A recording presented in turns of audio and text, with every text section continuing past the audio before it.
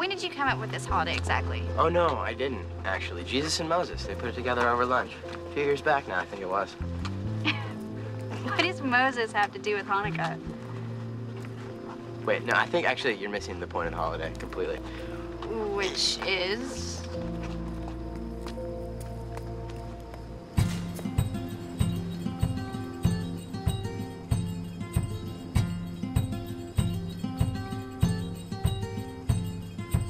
Maybe this Christmas will mean something more.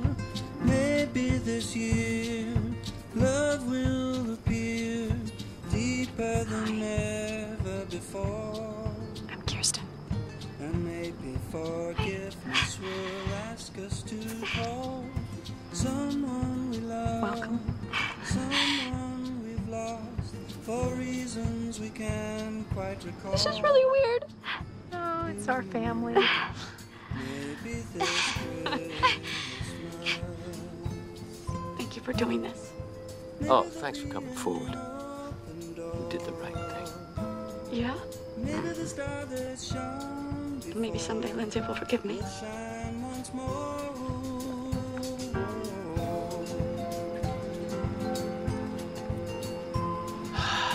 So, Summer Roberts, you saved Chrismukkah Kinda did, didn't I? I hope I can repay you. Well, you can start by carrying my tree to my car later. Hmm? Hey, guys. Hey, Eggnog, latkes. none for Summer, gives her gas. I figured you hadn't had a Christmas tree for a while. I don't even know what to say. You don't have to say anything right now. Hey, I've got latkes. Oh, uh, this sounds kind of disgusting. Yeah, I know. Can we order pizza? All right.